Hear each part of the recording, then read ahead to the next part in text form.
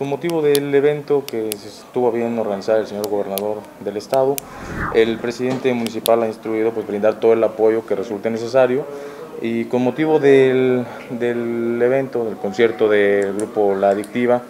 se planea llevar a cabo este evento en la calle, sobre la calle Morelos, se cerraría esta vialidad desde la plaza principal, es decir, de enfrente de la iglesia, hasta lo que es Bravo, para que pueda bueno, llevarse a cabo ahí, se monte el escenario, esté el público presente.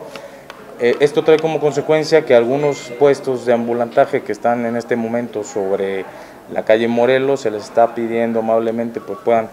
eh, pasar a lo que es el lado sur de la plaza principal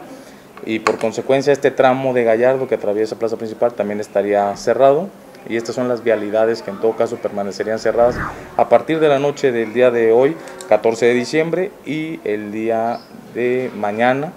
todo el día de mañana, 15 de diciembre, dado que el evento tiene lugar precisamente este último día. Como se estaría cerrando desde Bravo, ahí sería el punto de desviación y a su vez las calles que se incorporan hacia Morelos también una cuadra antes se haría la señalética y la desviación correspondiente pues para que pueda fluir el, el, tránsito vehicular. Ya efectivamente ya ellos están eh, coordinándose, ya se habló con ellos, ya están desplegando a los elementos de, de tránsito municipal precisamente para buscar pues que el, tráfico pueda fluir. Sabemos que en ocasiones se llega a causar alguna afectación, pero bueno, trataremos de que sea lo menos posible.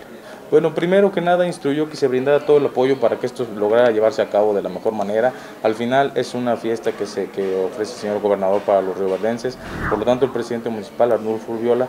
quiere que haya todo el apoyo que, sea, que resulte necesario, también que se busque la manera de perjudicar lo menos posible la movilidad en la ciudad y de, él ha tenido a bien girar las instrucciones tanto a Dirección Pública de Seguridad Pública Municipal como a, este, a las distintas direcciones del municipio para que tengan todas las medidas pertinentes, estén al pendiente de lo que se llegue a ofrecer por parte tanto de la ciudadanía como de los propios organizadores del evento.